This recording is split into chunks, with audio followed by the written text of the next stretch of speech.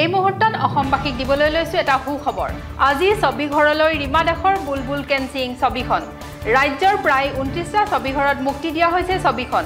ছবিখন মুক্তিৰ পূৰ্বে যোৱা বৃহস্পতিবাৰে হৈ যায় প্ৰিমিয়াৰ শ্ব' দৰ্শকৰ সৈতে প্ৰিমিয়াৰ শ্ব' উপভোগ কৰিছিল মুখ্যমন্ত্ৰী সৰ্বানন্দ সোণোৱালেও। ছবিখন চাবলৈ সমগ্ৰ ৰাজ্যবাসীক সংবাদমেলৰ জৰিয়তে আহ্বান জনাইছে পৰিচালক ৰীমা দাসে।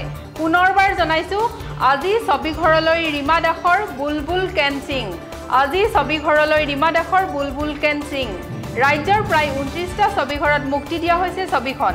ছবিখন মুক্তিৰ পূৰ্বে যোৱা বৃহস্পতিবাৰে হৈ যায় প্ৰিমিয়াৰ শ্ব' দৰ্শকৰ সৈতে প্ৰিমিয়াৰ শ্ব' উপভোগ কৰিছিল মুখ্যমন্ত্ৰী সৰ্বানন্দ সোণোৱালেও।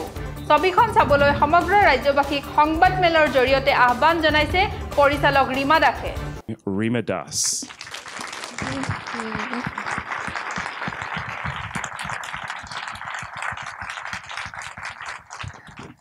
Hello, everyone.